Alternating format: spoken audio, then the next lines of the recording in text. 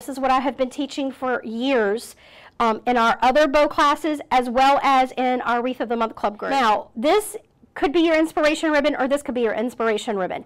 Both of these have the rust and they have the moss and then they have the orange.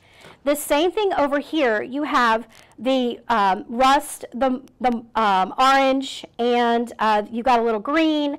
You also have some yellow. So look at here. This would look really pretty together too.